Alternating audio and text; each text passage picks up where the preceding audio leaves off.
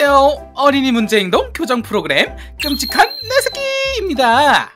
대한민국의 예전습 바로 다교육식의 1인자 말 지지리도 안 듣는 우리 아이 육아에 대한 화끈한 조언을 해주실 우리 조왕숙 선생님을 모셨습니다. 안녕하세요.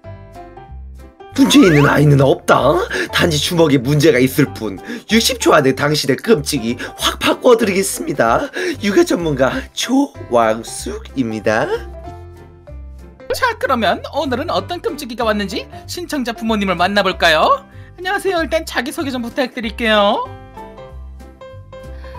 네, 안녕하세요.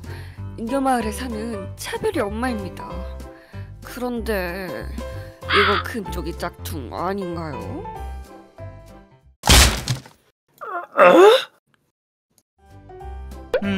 선생님 말 나온 김에 요즘 시청자분들이 왕숙 선생님을 의심하시는 분들이 많더라고요. 댓글에서는 저런 사람이 어떻게 육아 전문가냐면서요. 댓글 단 녀석이 누구죠? IQ 추적해서 그냥 잡아다가 면상을 박살낼까?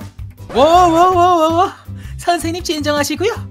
그래서 우리 의심스러운 시청자 여러분들을 위해 조왕숙 선생님의 경력을 보여드릴까 합니다. 자 차례 화면 나갑니다.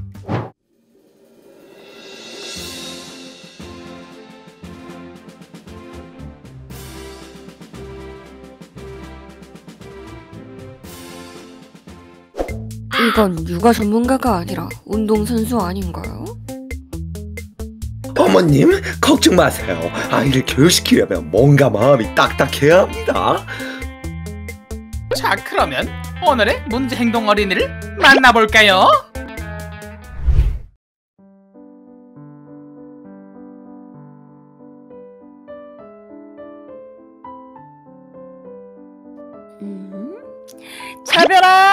학교 가야지.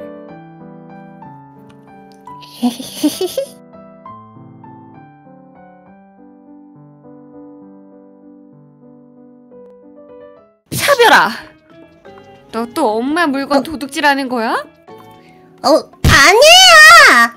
뭐가 아니야? 그 가방 이리 줘봐. 아니라고! 진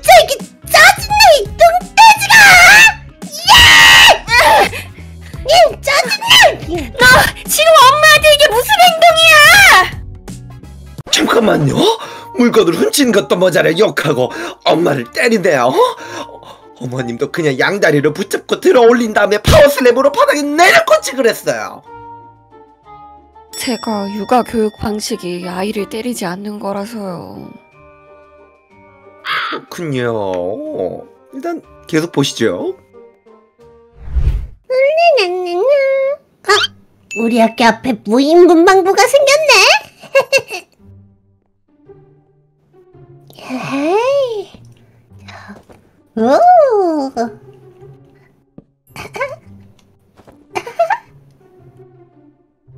네. 야 너 지금 뭐 하는 거야? 뭐 하긴 지금 사람 아무도 없잖아. 야 너 저기 CCTV 있어. 너 그러다 경찰서 가. 내가 너 신고한다. 어? 어쩔 TV 신고하든가. 어차피 촉법 소년이라 감옥 안 가거든. 헐? 근데 이게 아까부터 까불고 있어 진짜. 야 신고해봐. 신고해 보라고.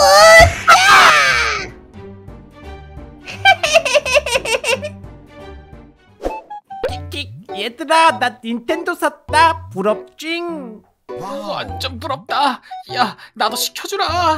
응 그래 너 딱 한 판만 하는 거다 알겠지? 음. 어 뭐야 내 닌텐도 야 니가 내 닌텐도 훔쳐갔지? 무슨 내가 훔쳐? 니가 내 옆자리에 있었잖아 내 교실이니까 여기 있지 왜 나만 갈구고 다닌대? 너 저번에도 내 거 훔쳐갔잖아. 저번에도 그렇고 이번에도 내가 훔쳤다라는 증거 있어? 교실 안에 너밖에 없잖아. 왜 나만 의심하고 나만 갈군데? 내 책상 옆에 있었으니까 널 의심하는 거지. 너가 내 거 내 훔쳐갔잖아. 빨리 내놔. 그 책상을 네가 언제 매입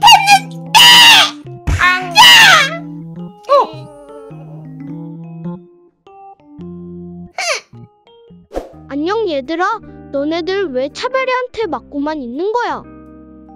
반항하면 더 심하게 때리고 욕하거든. 그래서 그냥 맞고 있는 거야. 차별이가 물건을 훔치는 이유가 뭔지 아니? 내가 알기로는 중고마켓에 파는 걸로 알고 있어. 대체 언제 오는 거야? 언제까지 기다리게 하는 거야? 혹시 당근? 왔구나. 우리 손주가 가지고 싶다고 한 물건 좀 보여줄 수 있을까? 네. 어, 어, 아무도 없지? 여기요. 아, 싸게 파는 거예요. 상태가 별로 안 좋은 것 같은데 깎아줄 수 있을까? 아, 상태가 뭐가 안 좋은데요? 여기 이쪽에 다 깨져 있잖아 아, 어쩌라고? 가격은 절대 못 아이고 아이고 진짜. 이 돈을 깎으려 하더니 야, 심보가 아주 고약하네. 할머니 그 심보 나쁘니까 주머니에 있는 돈은 내가 가져간다. 이렇게 영상이 끝이 났습니다. 어머니 심정은 좀 어떠세요? 생각보다 더 심각하네요 생각보다 상태가 심각하네요. 제가 당장 어머님 집으로 달려가서 둠스톤 파일 드라이버를 내려 꺾고 싶은데요. 바로 솔루션 진행하시죠. 저기 선생님 선생님의 교육 방식은 너무 무식한 것 같아요. 그래서 그런데 저희 아이는 쥐어박지 않고 교육해줬으면 좋겠어요. 음, 그렇게 어려운 부탁을. 아, 뭐 훔쳐서 팔 거 없나? 아이 진짜.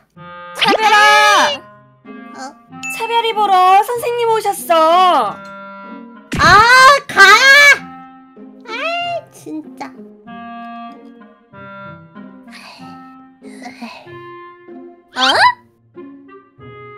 안녕. 나는 조왕숙 선생님이야. 반가워.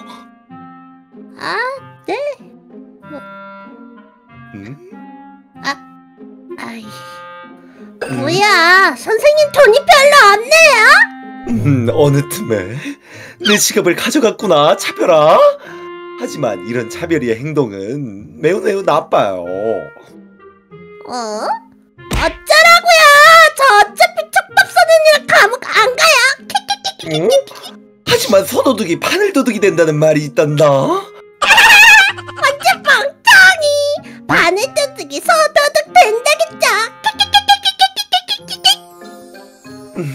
넌 안 되겠다.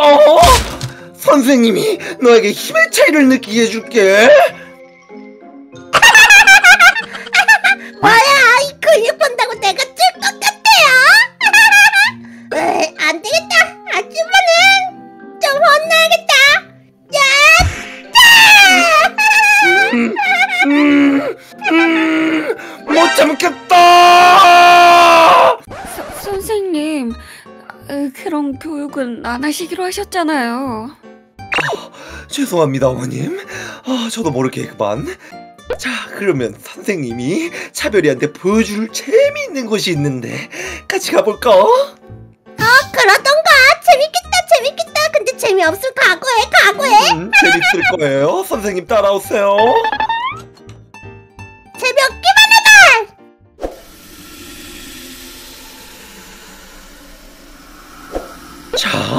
여기는 우리나라에서 최고로 무서운 죄수들만 있는 곳이란다. 어,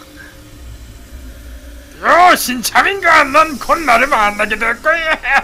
일로 와, 일로 와.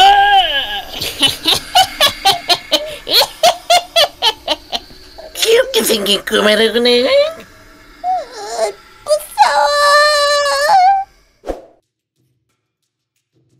저, 네가 어른이 되고 물건을 훔치면 이런 곳에서 평생 사는 거야. 선생님이 미리 체험시켜줄게. 아들아! 예, 형님.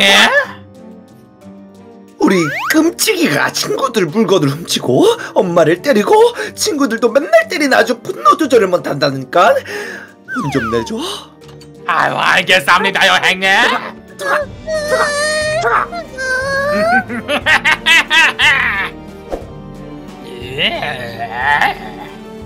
아, 너구나 꼬마야. 네가 물건 훔치고 엄마도 때렸다면서? 너 그렇게 살다가 나처럼 여기 감옥에서 영원히 사는 거야. 아, 이 아줌마들이랑 평생. 아! 잘못했어요. 왜 물건 훔쳤어?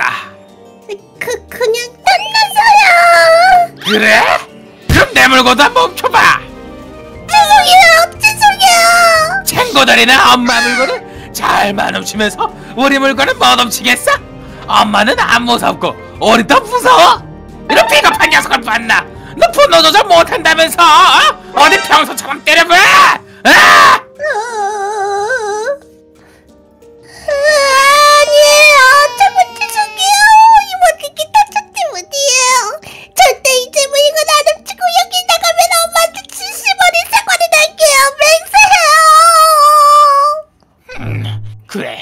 오늘의 눈물 어린 사고를 기억해라 꼬마야. 안 그럼 다음에 여기 또 올 때는 내가 네 엄마다.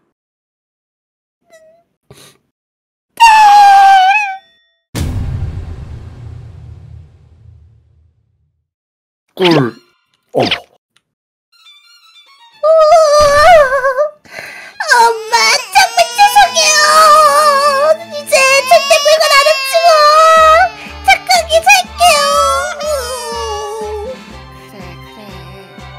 자 이제 물건 안 훔치고 폭력적인 행동은 안 할 거지 네, 살려주세요. 진짜 안 할게요. 그래 그래 어머님 솔루션 마셨습니다 감사합니다, 선생님. 다음에 또 차별이가 일어나면 저에게 콜미 베이비 해주세요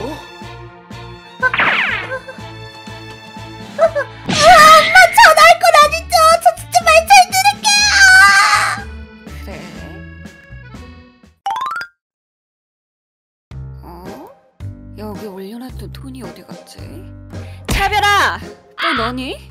어? 나 아닌데요? 그래. 아유, 조왕숙 선생님한테 전화해야겠다. 어, 여- 여기 있습니다. 어, 어머님